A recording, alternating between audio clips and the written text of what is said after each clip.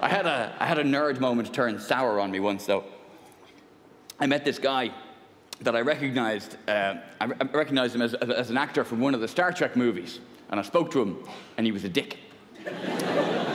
Which was a real shame. Has that ever happened to anyone here? Have you ever met a famous person and then they were a dick? Don't say Ed Byrne, it's hurtful. Uh, but that happened to anyone here? Have you ever met like a celebrity that maybe you were a fan of uh, and then they were a dick?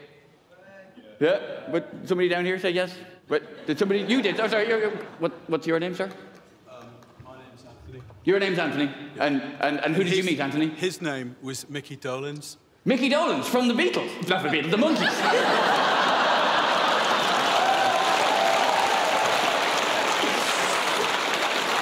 Dolenz from the Beatles ripoff, the Monkees. Yes. Anthony, how did you actually come to meet Mickey Dolenz then? Uh, it was actually uh, in this arena, in this hall. You're in, in, right here, in the City Hall. You met him here, or you just saw the gig. Do you think you're meeting No, me right now? that's, right, that's how stalking starts, you know?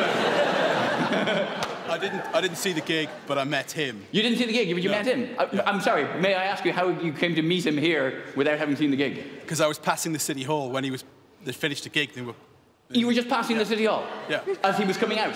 yeah. They finished, they finished the gig. I was coming out. No, he was coming out. He was coming out, he was coming out of the building, by the way. Can we just stress? Especially because we're filming, I don't want to get anybody like, uh, oh, Ed Byrne and Mickey Dolenz gay slur. No, I, he was coming out of the building. So he's coming out of the building. So you met him on, while he was on his way out of the building. Yes? Yeah, and yeah. he was. Oh, I, will- I just, I don't want to pick you up, but earlier you said you met him in this building. Okay, so Anthony, I'm beginning to doubt you. Your, your story is falling down. He was coming. He was coming out the building. Yeah. I was going past the building. You're going past the building. And he was clearly delusional. He was clearly delusional. Did you, did you speak to him first? Did you say anything to uh, him? I, I, someone said something to him. Somebody said something to him. Anthony, you're has gone from met somebody to walked past somebody while somebody else was speaking to them, you know. See, now you've got a story about me being a dick as well, haven't you? That's it. Uh, Ed Byrne, he asked a simple question, and I answered it. No one else was answering. I was just trying to help him out. He was doing his DVD. I was trying to fucking help the guy out. What did he do? He made a fucking prick of me. Ed Byrne, shite. And you'd be right, sir. You'd be right. So, so what? Somebody, what did somebody say to Mickey Dolenz then? Uh, he was just very rude. He just seemed very, very, um, His general demeanour. yeah, yeah, very, very unfriendly. I'm helping you out. It's like me telling the story. His general demeanour was just rude. Thank you, thank you, Anthony. Thank you for playing. I appreciate this. Uh,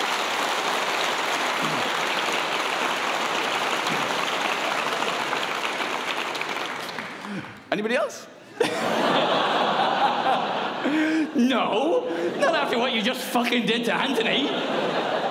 I did have a story about how Eric Clapton shat in my handbag, but I'm not telling you it. I'm keeping it to myself now. did, did- did anybody else have a tale they wanted to tell of a celebrity being a dick? Yeah, somebody at the back there. What's uh, what's your name? Alex, Alex. Who, who, who did you meet, Alex? the footballer Hatem Ben Arfa. You met a footballer and they were a dick. No.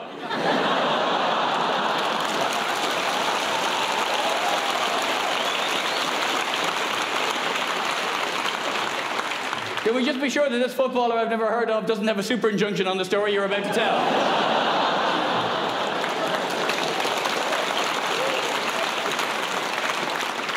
How did you meet this footballer? Um, I was at a football match. In a football match.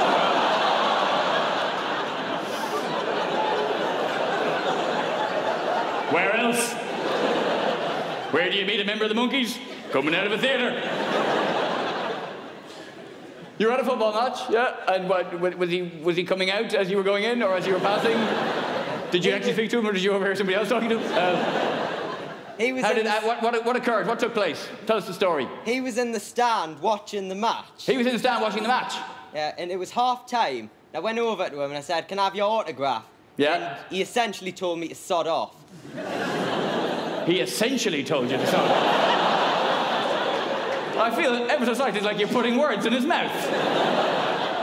I mean, he signed an autograph, but essentially he told me to shut up. So did, did he refuse to sign the autograph? Yeah. Or did you say anything back to him? No. No. May I ask you what age you were at the time? 15. 15. Oh. Ah, it, it would have been better if he'd been younger, though, wouldn't it?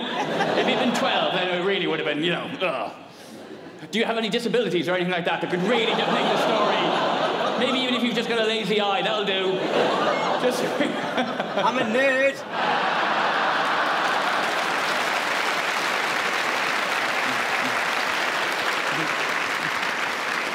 You asked for an autograph and were refused.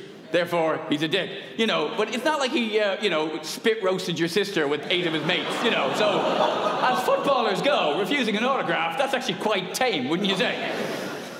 I love the way people just went, oh, no, footballers don't do that. Fair enough. Some do, but we can't talk about them because for legal reasons. Well, uh, thank you, thank you, thank you, Alex, for, for, for, for telling us your tale woe. That's, um,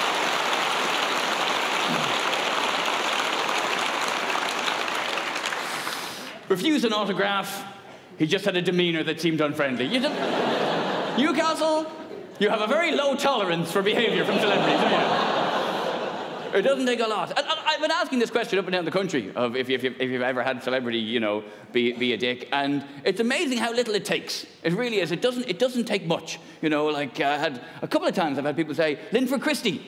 Linford Christie came to our charity sports day, and he just didn't seem to have any time for anyone. He came to your charity sports day, you ungrateful bastard. And to say he didn't have any time for anyone, he's a sprinter. Time means a lot more to sprinters.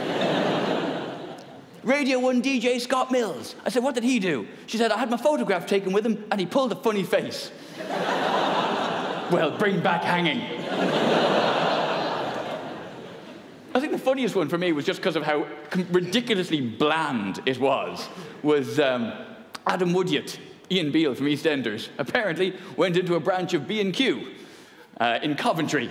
And the woman who worked there went, aren't you Ian Beale? And he responded, where do you keep the gas canisters? so your stories are looking pretty good right now, aren't they? actors, actors can be prickly. This is a thing. Actors can just. I remember I did. Um, I did an episode of the Graham Norton show once, and uh, I was on with Robert Downey Jr., which I was quite excited by because I'm quite a fan of Robert Downey Jr. And he was all right, but now and again he just was a bit, he was a bit prickly. You know, I think he just didn't know how to take being sat between two comedians. He thought we were taking the piss out of him all the time, and we were only taking the piss out of him half the time. So you know, like we were talking about a film he was in. He was in this film called Kiss Kiss Bang Bang which is a brilliant film. And if you haven't seen it, it's a very underrated film. And in the film, Val Kilmer plays a gay private detective. And there's a kiss scene between Val Kilmer and Robert Downey Jr. And I said to Robert Downey Jr., I said, knowing that his wife was the producer on the film, I said, that kiss with Val Kilmer, was that actually in the script? Or did your wife put it in the film just to see you kiss Val Kilmer? and he visibly bristled. And he went, My wife is not a freak. mm. Fucking married you. Humor. Some people